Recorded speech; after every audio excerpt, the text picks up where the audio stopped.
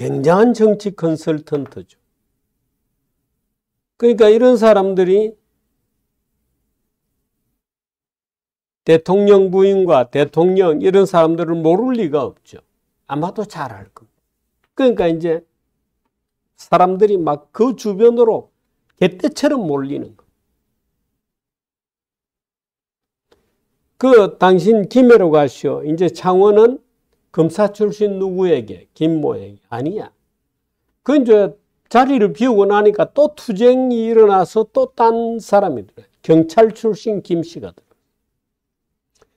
그 당신은 김해로 가자. 김해로 넣어서 돌려보니까 떨어지는 겁니다. 그러니까 이번에는 개혁신당에 가서 비례를 할 수 없는가 하고 이준석한테 막 전화 돌려서 이준석 씨가 막 급하게 뭔가 의논할 일이 있다 그러니까 칠불사까지 내려. 칠불사는 굉장히 높은 데 있는 절입니다. 참 평소에 찾아가기도 어려운 절인데. 그러니까 비례 1번을 달라. 안 된다. 3번을 달라. 어, 무슨 소리냐? 비례 안 된다.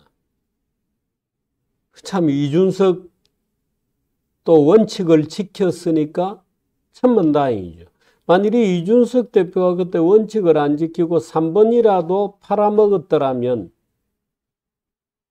이제 정부로부터 보조금은 왕창 받죠. 아마 20매덕 이렇게 들어올걸요. 정부로부터 정치 보조금은 국현 배지를 달고 있는 사람이기 때문에 왕창 받겠습니다마는 이준석의 신뢰는 날아간 거죠. 근데 다행히도 이준석이 그 제안을 깨끗하게 거절했습니다. 이준석 대표에게 축하드립니다. 정치는 그렇게 원칙을 지켜야 됩니다. 앞으로도 그래 주시기를 바랍니다. 그 이준석은 피했죠. 이준석은 그 추문의 폭탄이 떨어지는데 다행히 이준석은 피했습니다. 이제 추문의 폭탄은 국힘당입니다. 국힘당이 설명을 해야 됩니다.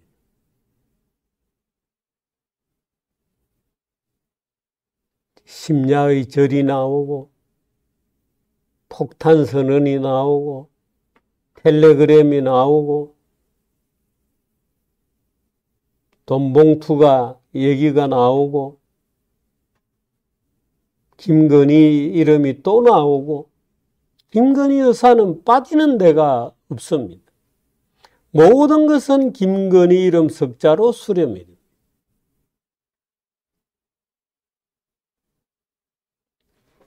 윤석열 대통령 이름이 직접 나오고 한동훈은 한동훈대로 해먹었을까요? 모든 당권파들이 자기 나름대로 치열하게 몇 자리씩은 다 팔아먹습니까? 아마도 그런 것. 여기서 A 의원은 A 의원이 군 천하람이에요. 천하람. 천하람이 사 실상 이 김영선의 예, 김건희 공천 개입 파문 관련 기자회견문 초안을 작성을 했다. 천하람이. 이미 작성된 이 과정은 어떻게 됐냐. 7불사 순천에 있어요. 차담은 시작됐다. 당시 차담에 배석했던 D씨는 차담회를 하고 이준석, 김영선, 명태균 셋이 5분 정도 있었고 이후 이 의원과 김영선 둘만 어, 남겨놓고 방송 나왔다. 그 둘이 다음날 새벽까지 얘기를 했다. 자, 뭐 매부쇼도 많이 얘기했지만 저게 별게 아니면 뭘 새벽까지 얘기합니까? 별게 아니면 어. 이제 와서 뭐 김, 이 김건희가 도와줄 수 없다는 취지였기 때문에 그랬다. 아, 별게 없었다. 근데 근데 뭘 새벽까지 얘기하냐고요. 김영선과 이윤과의 밤샘 협상에서 음? 김영선이 텔레그램 메시지를 제공하는 조건으로 비례 1번을 요구했다. 이거는 뭐 모두 일치한다. 하지만 이준석은 받아들이지 않았다. 뜬금없이 1번 줄 수는 없었다. 근데 내가, 내가 문제 삼는 건 요 대목이거든요. 근데 김영선이 기자회견을 통해 자신이 모든 것을 감당할 수 있다면 해볼 수 있다는 건데 그 내용이었었다. 그러니까 김영선이 직접 앞장서서 밀어붙여주면 해볼 만한데 김영선도 주저주저 했다. 그럼 어쨌든 그 내용이 문제가 심각하기 때문에 저는 기자회견이고 나발이고 말이 왜 나옵니까? 내용이 별거 아닌데 기자회견을 왜 검토하고 기자회견문이 왜 튀어나오려고? 이대로 끝났냐? 아니야. 어? 김영성과 방송협상 뒤 3.1절 기념식 참석을 위해 서울로 향한 뒤 이 의원 대신에 A 의원 천하람이 칠불사에 남아 의견 조율했고 천하람이 2, 3일 더 머물면서 기자회견 초안을 작성했다. 별거 아닌데 선대 본부장인 천하람이가 순천에서 처박혀가지고 기자회견을 작성하고 있었다. 2, 3일 동안. 그러면 3월 2, 3일이고 여기서 또 더 문제가 되는 거는 결국 김영선에게 개혁신당 비례대표 3번짜리를 내어주고 폭로 기자회견을 진행하는 선에서 의견이 모아졌다.